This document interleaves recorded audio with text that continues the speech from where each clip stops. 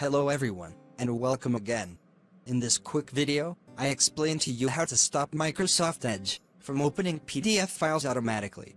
By default on both Windows 10 and 11, PDF files are opened automatically on Edge, although the Edge browser contains a lot of tools that can help you read PDF files.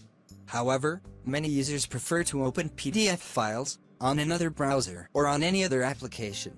And if you want to use Chrome or dedicated PDF readers, all you have to do is change the default application that opens PDF files, and the steps are very simple.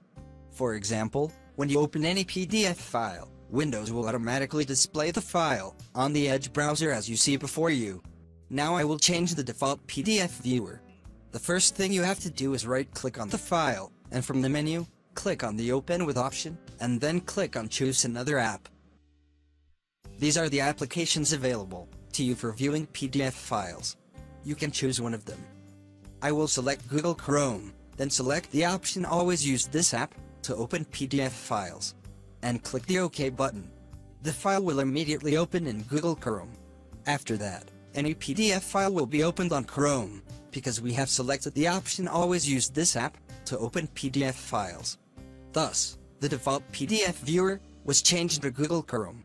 Very simple information, but there are some users who do not know how to change the default PDF file viewer. I hope that the video is useful to you, and I thank you for watching. And I also hope that you subscribe to my channel. Thank you all.